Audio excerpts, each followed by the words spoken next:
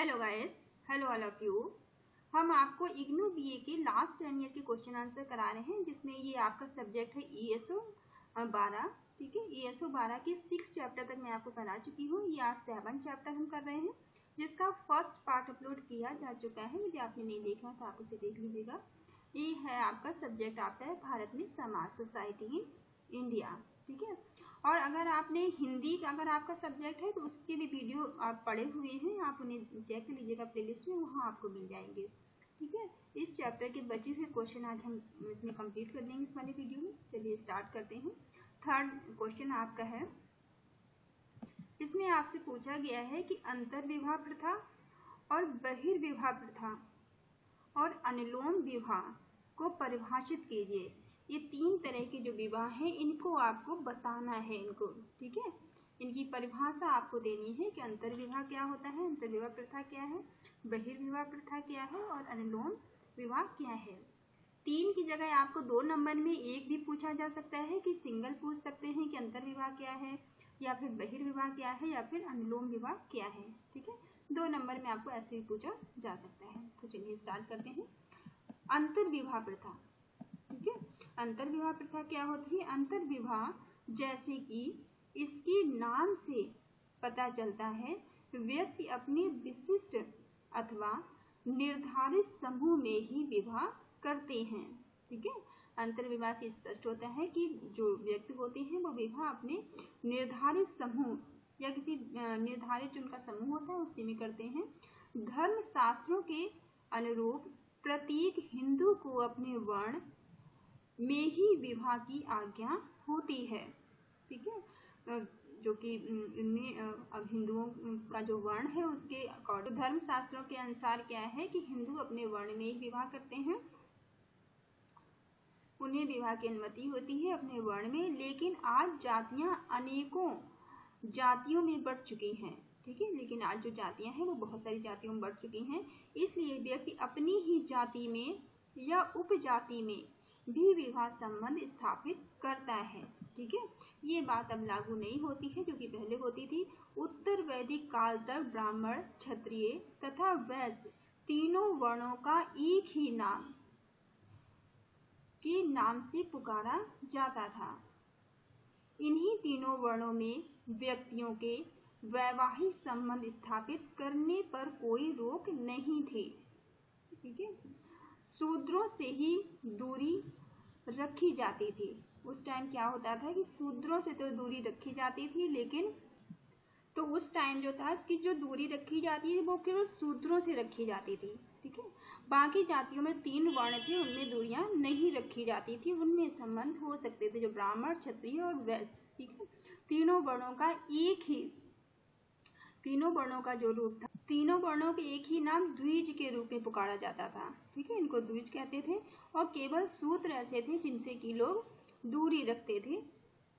इनसे दूरी रखी जाती थी। उपजातियों के निर्माण के निर्माण के साथ ही जो उपजातियों का निर्माण हुआ, यहाँ थोड़ा सा कट रहा है, मैं बताती हूँ समझ लीजिए ठीक है, उपजातियों के निर्माण के साथ ही प्रत्येक व्यक्ति का यही अनिवार्य नैतिक कर्तव्य हो गया है कि वह अपनी उपजाति में ही विवाह करने लगे हैं, ठीक है? उपजातियों के बाद लोग अपनी ही जाति में विवाह करने लगे हैं।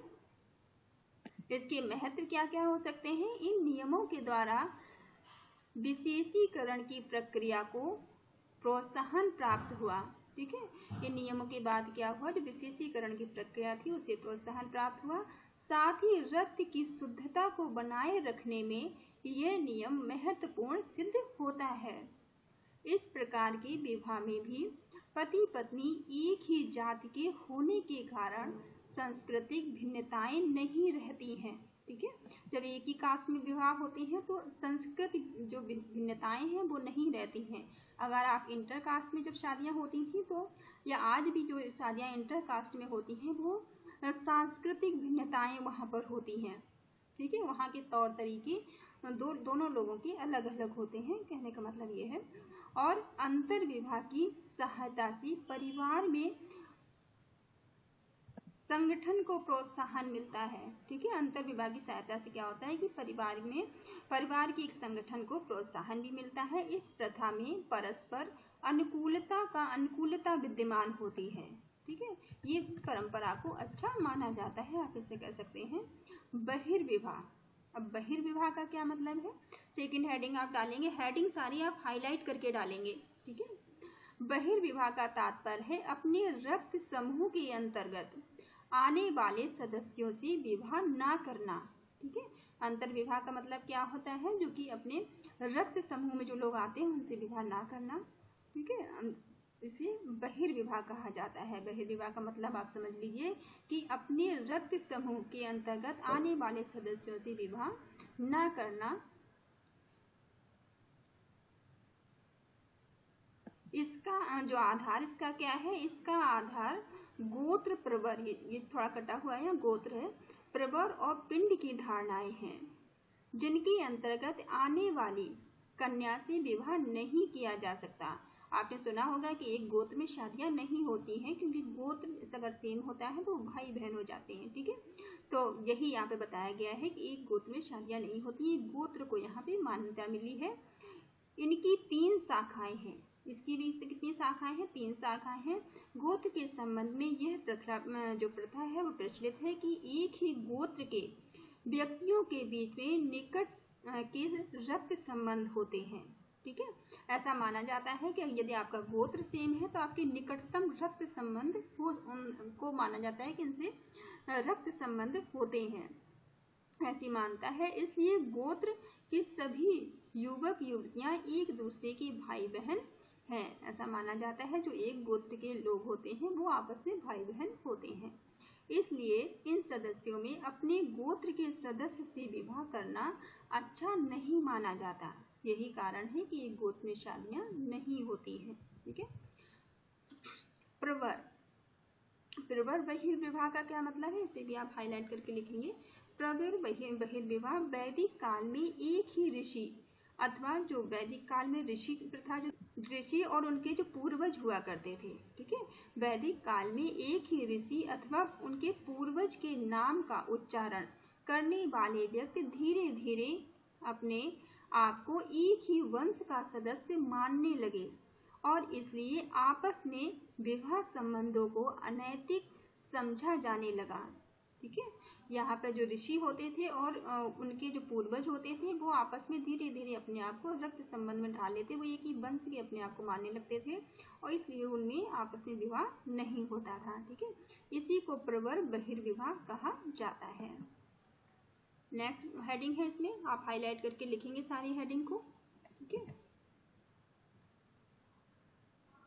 सहपिंड बहिर्विवाह सहपिंड बहिर्विवाह का क्या मतलब है? इसमें दो मुख्य धाराएँ बताए गए हैं, ठीक है?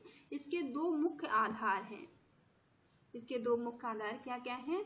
जो सब सपिंडता को प्रकट करते हैं, ठीक है? सपिंडता को प्रकट करने वाले दो आधार हैं। मिताक्षरा के अनुसार पिंड का अर्थ होता है समान। रक्त कणों से लगाया जाता है। ठीक है?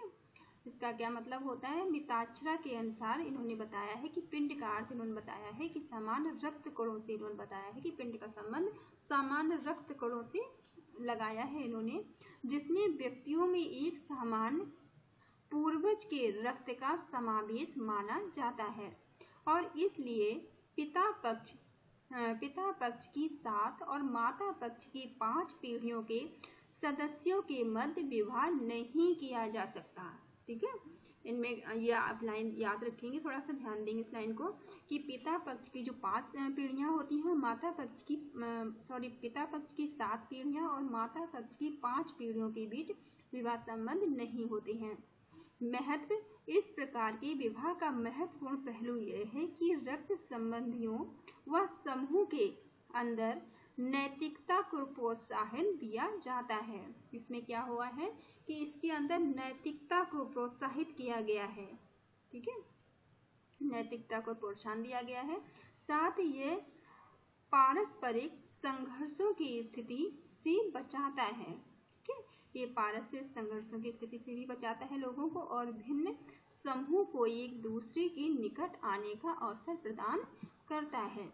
ठीक है? दूसरे जो समूह हैं, वो भी आपस में एक दूसरे के निकट आ सकते हैं।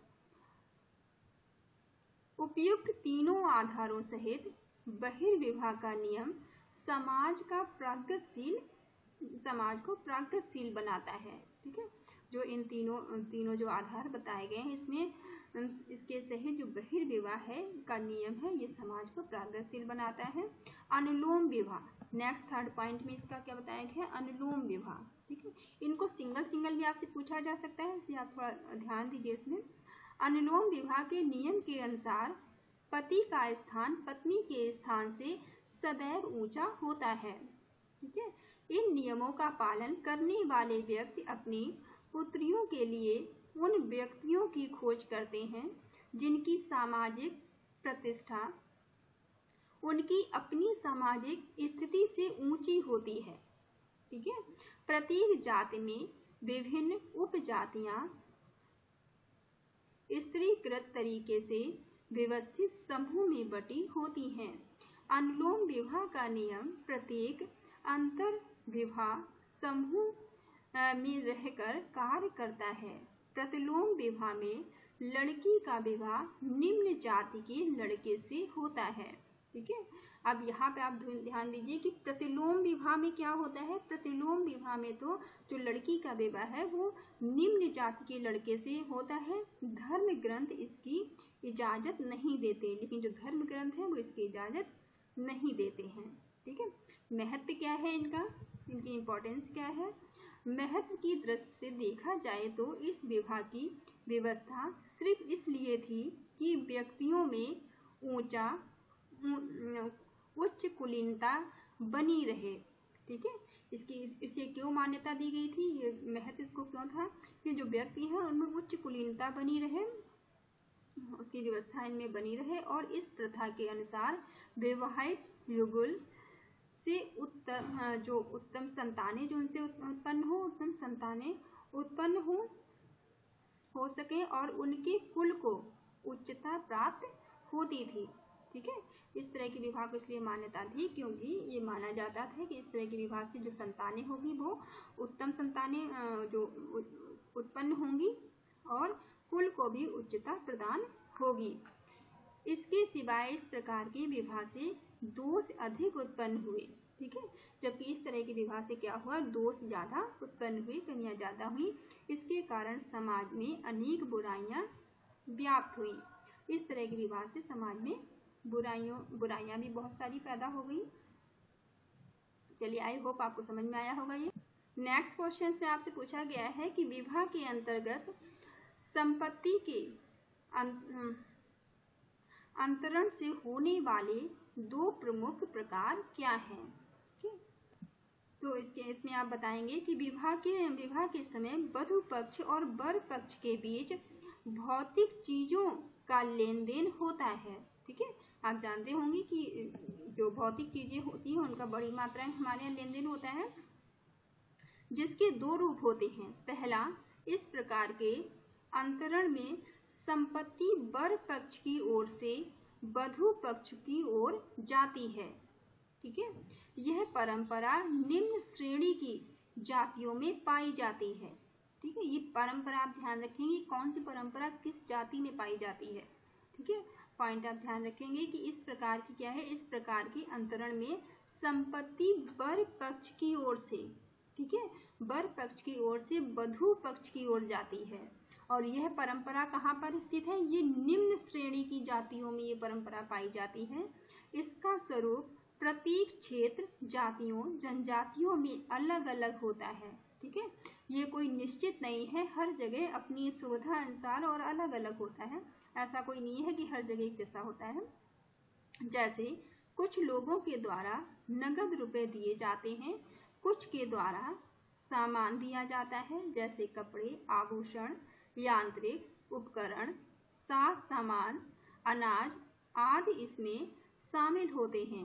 कहीं कहीं इसमें सौदेबाजी भी होती है, ठीक है? कहीं कहीं क्या होता है? निस्सौदेबाजी भी होती है, जब लड़की का विवाह हो जाता है और उसके द्वारा पिता का घर छोड़ दिया जाता है तो काम करने वाले सदस्यों की कमी हो जाती है। अतः वधु देने वाले परिवार की इस कमी वधु मूल्य द्वारा पूरी की जाती है। इस तरह लड़की अपनी मायके के लिए संपत्ति व प्रतिष्ठा पाने का माध्यम होती है। इस प्रकार ये आदान प्रदान का अर्थ लड़की के मूल्य के विषय में अवगत कराता है। ठीक है? थोड़ा सा ये सुनने में अच्छा नहीं लगता है, पर ऐसा ये है हमारे समाज में, बहुत सारी जगह इस तरह की मान्यताएँ और धारणाएँ हैं, ठीक है? दूसरा पॉइंट इसमें है दहेज, ठीक है? इसके बारे में आप भली भांत परिचित होंगे। इसमें संपत्ति वधु के साथ बर पक्ष की ओर जाती है, ठीक है? इसे सामान्यतः दहेज कहा जाता है। व्यापक अर्थ में विशिष्ट श्रेणी वाले लेन देन को दहेज कहा जाता है, जो बधु पक्ष की ओर से बर पक्ष को दिया जाता है। दहेज नगदी व सामान के रूप में दिया जाता है, परंतु दहेज कानूनी अपराध है। आप ये भी ध्यान रखेंगे कि जो दहेज प्रथा है, वो कानूनन अपराध है हमारे यहाँ। कानून अपराध की श्रेणी में आता है। दहेज में जो तत्व शामिल हैं, वे इस प्रकार हैं। अब दहेज के पॉइंट क्या क्या हैं? वे वस्तुएँ व उपहार जो वधु को विवाह के समय तथा विवाह के ठीक बाद दिया जाता है। ठीक है? दूसरा पॉइंट है वे वस्तुएँ जो उसे शादी के कुछ सालों तक त्योहारों उसके बच, उसके बच्चों के जन्म मुंडन आदि पर दी जाती हैं। थर्ड पॉइंट है वे वस्तुएँ जो शादी से पहले दी जाती हैं। फोर्थ नेक्स्ट पॉइंट में वे सभी वस्तुएँ जो लड़की की ससुरा ससुराल वालों को उपहार स्वरूप दी जाती हैं, ये सभी शामिल रहती हैं। आज दहेज का अपराध है। आज दहेज क्या है? एक अपराध है। फिर भी यह लिया और दिया जाता है। ठीक है? फिर भी यह हमारे समाज में, हमारे यहाँ बड़े पैमाने पे दिया दिया जाता है। दहेज निषेध कानून भी बनाए गए हैं, पर आज भी समाज में इसका प्रचलन है और निरंतर चल रहा है। ठीक है? इस पॉइंट से आप तो भली भात परिचित होंगे, इसलिए इसमें कोई ऐसी बात नहीं है कि आप को याद ना रहे। ठीक है? आई होप ये आप समझ में आया होगा ये क्वेश्चन आपको। चलिए, अब महत्वपूर्ण क्वेश्चन में एक लास्ट क्वेश्चन इसको कर लेते हैं तो ये चैप्टर आपका यहीं पे खत्म हो जाएगा। ठीक है? एक लास्ट क्वेश्चन है, महत्वपूर्ण क्वेश्चन में चलिए इसको भी देख लेते हैं। विवाह की परिभाषा देते हुए तय किए गए विवाह में टिप्पणी करिए, ठीक है? विवाह की परिभाषा यहाँ पे आपको बतानी है। अच्छा आप लोगों के कमेंट थे कि आपको और भी सब्जेक्ट की वीडियो चाहिए, पर आपने ये नहीं बताया कि आपको सब्जेक्ट कोड आपने नहीं बताया। ना तो सब्जेक्ट का नाम बताया है आपने तो आपको जिस भी सब्जेक्ट के वीडियो चाहिए है, उसका आप मुझे कोड बताइए। ठीक है? अगर आपको बी ए सब्जेक्ट की चाहिए तो आप उसका तो कोर्स कोड बताइए और नाम बताइए। और अगर आप बी सी एम सी के चाहते हैं तो उसका भी आप मुझे कोर्स कोड या नाम बता सकते हैं तो आपको उन सबके मिल जाएँगे। ठीक है? चाहे आप बी हो या बी सी एम हो एम सी एम हो, जिसका भी आपको वीडियो चाहिए, वो आप मुझे बता दीजिएगा कोर्स कोड तो आपको मैं प्रोवाइड करा दूँगी। ठीक है? चलिए स्टार्ट करते हैं। समान रूप में विवाह एक समान संस्था है। ठीक है? अगर समान रूप में हम कहें तो विवाह क्या है? समान संस्था है जो समाज समाज द्वारा स्वीकृत नियमों के अनुसार एक स्त्री पुरुष की यौन आवश्यकताओं को पूरा करती है। बच्चों के जन्म को वैध रूप प्रदान करती है। परिवार में उनका उचित पालन पोषण करने की व्यवस्था मानी जाती है। परिभाषा आप इन सब जो भी हेडिंग है इनको आप हाईलाइट करके लिखेंगे। अगर आपको कुछ नहीं भी याद रहता है तो जितना भी याद रहता है उसको आप आ, अपने शब्दों में लिख देंगे तो आपको अच्छे नंबर मिल जाएँगे। पर पर आप छोड़ कर मत बताइएगा ठीक है? आपको जो भी याद रह जाए वो आप लिखिएगा ज़रूर। ये मत सोचिए कि याद नहीं है तो हम लिखे नहीं। अगर आप लिखेंगे तो कुछ ना कुछ आपको नंबर ज़रूर मिलेंगे ठीक है? विवाह एक प्रजनन मूलक परिवार की स्थापना का समाज स्वीकृत तरीका है, ठीक है? ये कुछ लोगों ने अपने अपने थॉट दिए हैं, अपनी अपनी विचार बताए हैं, जिनको यहाँ पे बताया गया है। जैसे ये विचार आपको दिया है गिलिन ने, ठीक है ठीक है? विवाह स्त्रियों और पुरुष को पारिवारिक जीवन में प्रवेश करने वाली संस्था है, ठीक है? ये इन्होंने थॉट दिया है। बोवर्ड ने बताया है कि विवाह जो है स्त्री पुरुष को परिवार में पारिवारिक जीवन में प्रवेश करने वाली एक संस्था इन्होंने बताया है। तय किए गए विवाह अब विवाह किस किस तरह से तय किए जाते हैं, उनको जरा आप देख लेते हैं। पूर्व दिशा में जीवन साथी का चुनाव सामान्यतः माता पिता द्वारा किया जाता है, ठीक है? जो पूर्वी दिशा देशों की अगर हम बात करें तो पूर्वी देशों में जो जीवन साथी का चुनाव है, सामान्य रूप से उनके माता पिता द्वारा किया जाता है। माता पिता करते हैं वे अनुभवी होने के कारण भावी जीवन साथी के शुभ अशुभ को भली प्रकार समझ सकते हैं। ठीक है? क्योंकि आपके माता पिता का अनुभव आपसे अधिक है इसलिए वो आपके जीवन साथी का सही चुनाव कर सकते हैं। ठीक है? इसलिए ये, ये माना जाता है कि जो माता पिता का निर्णय होगा वो आ, वो ज़्यादा आपके निर्णय से ज़्यादा बेहतर होगा। ठीक है? यह विवाह का अत्यधिक प्रचलित स्वरूप है, ठीक है? और इस स्वरूप को हमारे यहाँ मान्यता भी मिली है। ये सबसे ज़्यादा प्रचलित रूप भी है और ये सही भी है। जब लड़की लड़की का विवाह माता पिता द्वारा निश्चित किया जाता है तो इसे तय विवाह कहा जाता है। भारत में तय विवाहों के संबंध में कुछ नियम इस प्रकार हैं। कुछ यहाँ पे आपको नियम भी बताए गए हैं, जो कि पॉइंट में दिए गए हैं। आप ऐसे पॉइंट करके लिखेंगे, ठीक है? इसी तरह से आप पॉइंट आउट करके लिखेंगे। तो फ़र्स्ट में आपको क्या बताया गया है? अंतर विवाह को माना जाता है, जिसके द्वारा विवाह संबंध की सीमा निर्धारित की जाती है, ठीक है? सेकेंड पॉइंट में आपको बताया गया है, बहिर्विवाह प्रथा, ठीक है? बहिर्विवाह प्रथा के नियम सम्मिलित रहते हैं, जो गोत्र में विवाह का निषेध करते हैं, ठीक है? बहिर्विवाह के अंदर क्या है कि हम सेम गोत्र में विवाह नहीं कर सकते हैं, इसे निषेध माना जाता है। थर्ड पॉइंट में आपको बताया गया है, चचेरे, मौसेरे, ममेरे, फुफेरे भाई बहनों के साथ विवाह संबंध सकारात्मक, नकारात्मक, आदेशात्मक और निषेधात्मक नियम है, ठीक है?